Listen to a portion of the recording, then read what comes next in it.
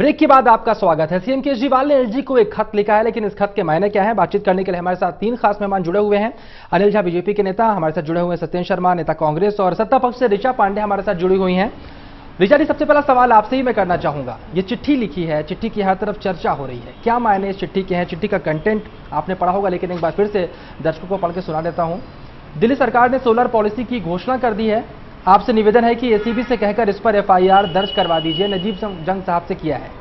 क्या अपने दर्द और गुस्से को सामने रखना चाह रहे हैं इस चिट्ठी के ज़रिए? सीएम अरविंद केजरीवाल। ऋचा जी। जो इस वक्त दिल्ली में हकीकत है इस चिट्ठी के द्वारा उसको सामने रखने की कोशिश की गई है। और वो हकीकत इस तरह है। हम दिल्ली में बहुत ही सराहनीय काम कर रहे हैं।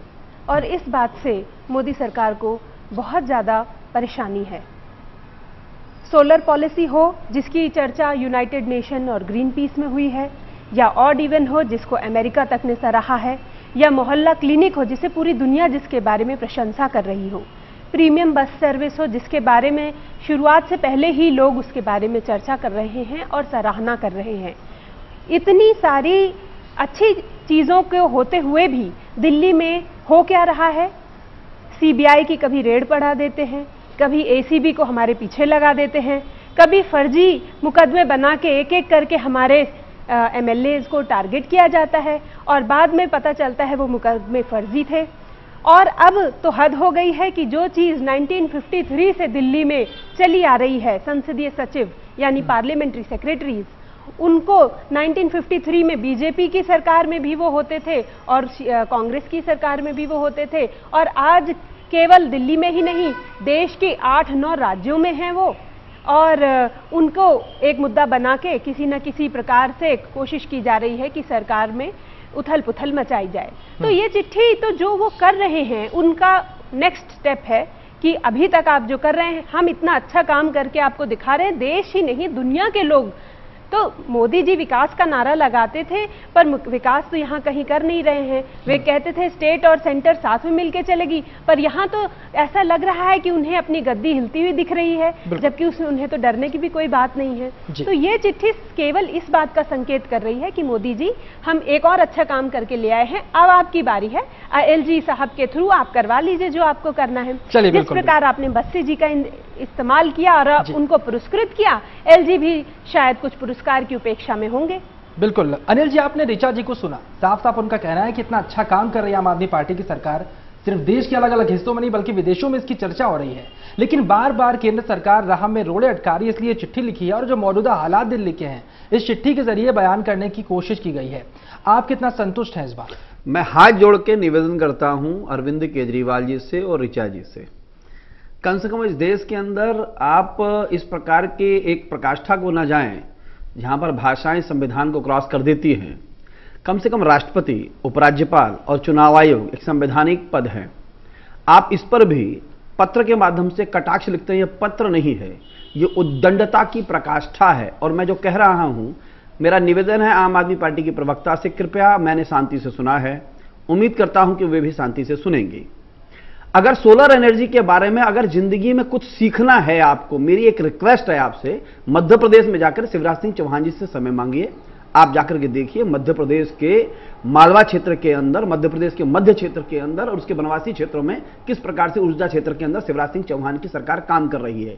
ऐसे ही रमन सिंह जी की सरकार जो है बस्तर के क्षेत्र में इस प्रकार, जिस प्रकार से काम कर रही है वो सराहनीय है। और अगर ग्रीन पीस का आप उल्लेख कर रहे हैं अगर आप यूएन का उल्लेख कर रहे हैं तो उन्होंने उस संदर्भ में उसका उल्लेख किया था कि मध्य भारत के अंदर जिस प्रकार से सोलर एनर्जी की क्रांतिकारी व्यवस्था अपनाई गई है राज्य सरकार के द्वारा वो उस पर चर्चा की गई है जहाँ पर आपका सोलर एनर्जी अभी तो कार्यक्रम अभी उत्पन्न भी नहीं हुआ है नहीं पैदा भी नहीं हुआ है आपका। अनिल जी ये भी तो अच्छा काम करना चाह रहे हैं। आप करना चाहते हैं स्वागत है आपका।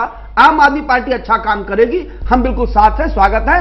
एक सकारात्मक विपक्ष नाते हम सहयोग करेंगे। हम्म। लेकिन मेरी हाथ जोड़कर रिक्वेस्ट है अरविंद केजरीवाल जी से और उनके इन प्रवक्ताओं से। मोदी जी आपके पीछे नहीं पड़े हैं। आप दिल्ली और देश को यह दिखाना चाहते हैं कि देखिए, मैं ही हूँ जो मोदी से लड़ सकता हूँ। लेकिन आप ऐसे हैं नहीं कि आप मोदी से लड़ने की सिर्फ़ बात इसलिए कर रही क्योंकि आपको सियासत करनी है। मेरा दूसरा आपसे आग्रह है, जिस प्रकार से आपने भाषा का प्रयोग किया है, जिस प्रकार से आप लेफ्टिनेंट गवर्नर को कहते हैं कि मोदी जी सुना है, आपसे खुश हैं, आपको उपराष्ट्रपति नहीं बनाएँगे, आप कुछ कर लीजिए। क्या कभी उपराज्यपाल ने पलट के आपको जवाब दिया है? उनकी शालीनता देखी है आपने? कितना बर्दाश्त कर रहे हैं आपको? जिस प्रकार से यह भाषा आपने लिखी है, क्या यह राजकीय भाषा है? मैंने देखा है कि पत्रकारिता में भाषा को बदलते हुए देखा है कि समय अनुसार शब्दों का हेर फेर होता है। लेकिन राजनीति के अंदर आपने राजकीय भाषा को बदल दिया, कुछ शब्दों के सम्मान को बदल दिया, राष्ट्रपति के साथ माननीय शब्द लगता है उसको बदल दिया, उपराज्यपाल की संवैधानिकता को बदल दिया, चुनाव आयोग की संविधानता को बदल रहे हैं, और आप इक्कीस संसदीय सचिवों की बात करते हैं। इक्कीस संसदीय सचिव आपने एग्ज़ाम नहीं किए थे यह मैंने कल बताया था। रिचा जी, आपको दूसरी बात। आप कह रहे हैं कि बहुत अच्छे काम किए मोहल्ला क्लिनिक में। मैं आपको बताऊँ, मोहल्ला क्लिनिक क्या है? दिल्ली में आप 59 एनआरएचएम के गला घोट करके डिस्पेंसरियों को मोहल्ला क्लिनिक को कन्वर्ट कर रहे हैं। मोहल्ला क्लिनिक किराए पर एक दुकान चल गई है। आपके लोग कहते थे कि पाँच करोड़ की डिस्पेंसरी बनती थी। रिचा पांडे जी, मैं चुनौती देता हूँ चैनल पर। अरविंद केजरीवाल बताए, पिछले पंद्रह सालों में पाँच करोड़ की एक डिस्पेंसरी का नाम बताए पूरी दिल्ली के अंदर। आप झूठ बोलते हैं आपके पास आंकड़े नहीं है। जी। आपने एनआरएचएम के सारे प्लान्स को ध्वस्त करने का प्रयास किया है।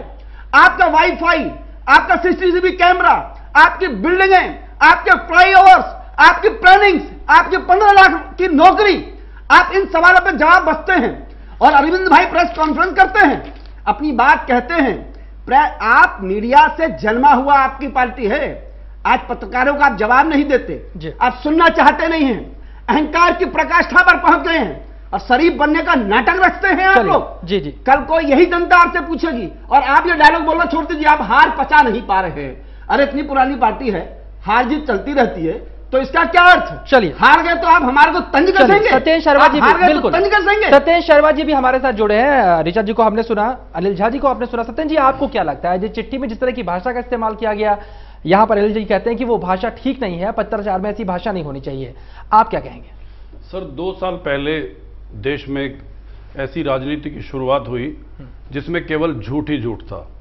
कांग्रेस को, कांग्रेस की सरकार को हटाने के लिए और खुद सत्ता में आने के लिए बीजेपी और आम आदमी पार्टी में कंपटीशन हो गया कि कौन बड़ा झूठ बोल सकता है। और जितना भी उनसे झूठ बोला गया, उन्होंने झूठ बोला। जनता से बहुत बड़े बड़े वादे कर दिए ऐसे वादे कर दिए जो कभी भी पूरे नहीं हो सकते। अब आज वो ये चिट्ठियाँ लिख के और ये इस तरह की नौटंकी करके दोनों ही पार्टियाँ केवल जनता का ध्यान हटाना चाहते हैं क्योंकि इनके बस की विकास करना नहीं है। जो वादे के बारे में क्या कहेंगे आप? चिट्ठी की भाषा तो शुरू से ही है क्योंकि केजरीवाल जी संविधान के अनुसार तो मुख्यमंत्री बने लेकिन संविधान को ये मानते ही नहीं है कभी भी। हम्म। अभी जो 21 संसदीय सचिव ये भी असंवैधानिक रहे इनके। हमेशा संविधान के खिलाफ चलते हैं संविधान से बड़ा मानते हैं अपने आप को। और जो भी इनकी भाषा रहती है हमेशा पीछे हुए हमारे माननीय जो पुलिस के लोग हैं उनको भी इन्होंने ठुल्ला बोला था। इस तरह की भाषा का घटिया प्रयोग करते हैं एक मुख्यमंत्री को शोभा बिल्कुल चलिए यहाँ पर कहा जा रहा है कि जिस तरह की भाषा का इस्तेमाल करते हैं सीएम अरविंद केजरीवाल वो भाषा ठीक नहीं है।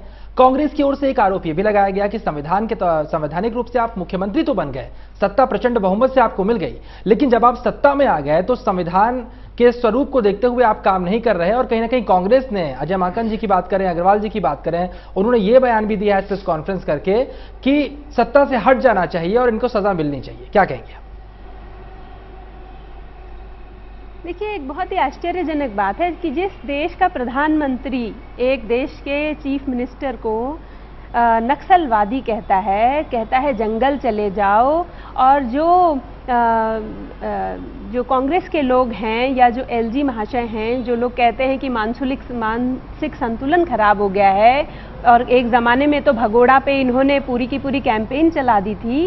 वे भाषा का, के बारे में टिप्पणी ना करें तो बहुत अच्छा होगा, क्योंकि ये बात मीडिया में भी है। आप इसको, ये जग ज़ाहिर बात है कि आप लोगों की भाषा कैसी है। आपको यहाँ भाषा का दर्द हो रहा है, परंतु आपको आम जनता का दर्द नहीं दिख रहा है कि एम एम खान जैसे एक ऑफिसर की हत्या हो गई और उनके हत्यारों को बचाने के लिए मोदी जी की सरकार पूरी तरह लगी हुई है।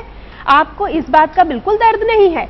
तो अगर एम एम खान जैसे ऑनेस्ट ऑफिसरों के लिए हम खड़े हो रहे हैं, उनको हम उनके लिए सपोर्ट कर रहे हैं तो हमारे पीछे सीबीआई की सीबीआई लगा दी जाती है। एक पिंजरे का तोता है जैसे आप कहते हैं वैसे करता है। एक एलजी का ऑफ़िस है आप आपके दबाव में वो कार्य कर रहे हैं।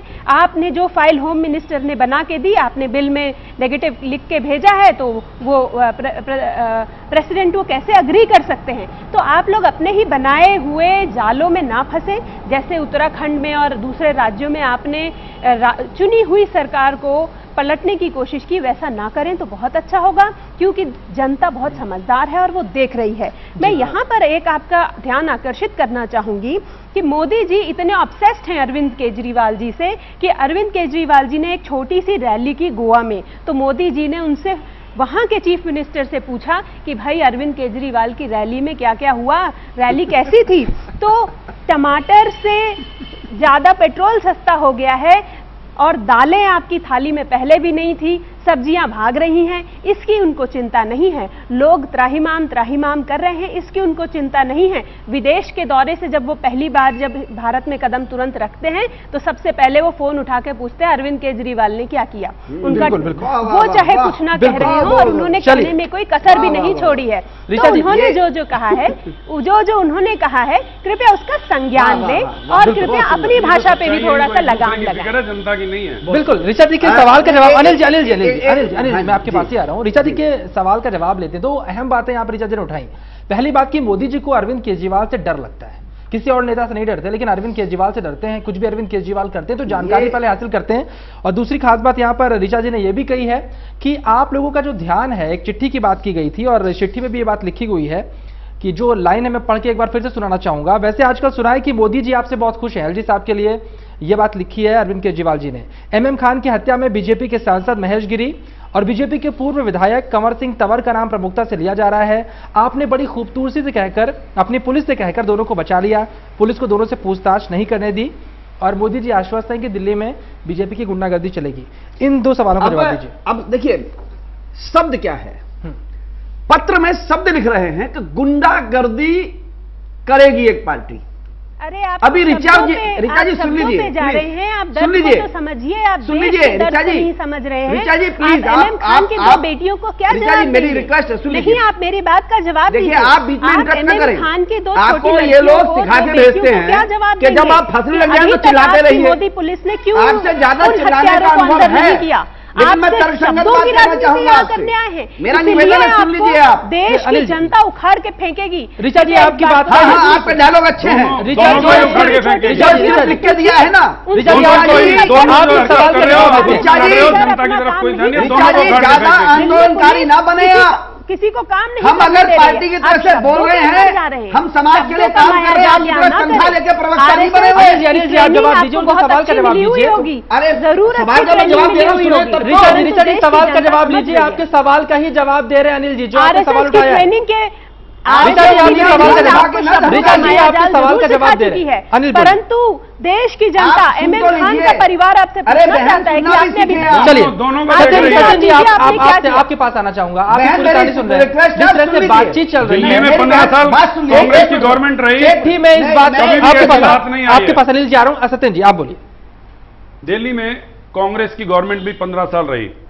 ऊपर भारतीय भारतीय जनता पार्टी गवर्नमेंट थी वाजपेयी साहब उस वक्त प्रधानमंत्री थे देश के लेकिन कभी भी हमारे मुख्यमंत्री और प्रधान केंद्र की सरकार में कभी टकराव नहीं हुआ हम्म। उन्होंने बड़े तरीके से उसको हैंडल किया जितना विकास दिल्ली में उस गवर्नमेंट ने पंद्रह साल में किया है उस विकास को आप देख सकते हैं उन्होंने जो चुपचाप काम कर दिए कभी भी कोई सवाल नहीं उठा झगड़े का। आज ये जब से मुख्यमंत्री बने हैं जब से केंद्र में मोदी जी प्रधानमंत्री बने हैं सिर्फ़ लड़ाई कर रहे हैं इसके अलावा कोई काम नहीं कर रहे। आपको लगता है नहीं मैं मैं मैं राजनीति आप लोग आज तक करते हैं। मेरी बात सुन लीजिए आज तक देश के अंदर ऐसे खाने पिलाने की राजनीति करते हैं। सुनेंगे आप लोग बीजेपी सवाल का जवाब नहीं होता है। बीजेपी करने की आदत पड़ चुकी है। बीजेपी और कांग्रेस राजनीति करते हैं खराब कर रही है। राजनीति को कोई चैलेंज कर रहा है ऋचा जी आपके सवाल का ही जवाब दिया जा रहा है। ऋचा जी। आपको मिलेगा कि नहीं मिलेगा? ऋचा जी आप सुनना चाहती है नहीं? पहले आप मेरी बात सुन लीजिए। क्यों? आज अगर आज आम आदमी पार्टी आपकी आँख की किरकिरी क्यों बन गया है? क्यों हर चीज़ पे आप अपना पिंजरे का तोता हमारे पीछे छोड़ देते हैं? वो इसलिए क्योंकि आप लोग। चलिए जवाब दीजिए करप्शन की राजनीति करते आए हैं। विजय माल्या को तो आपने भगा दिया। विजय माल्या को आपने भगा दिया। कांग्रेस भी कांग्रेस भी भी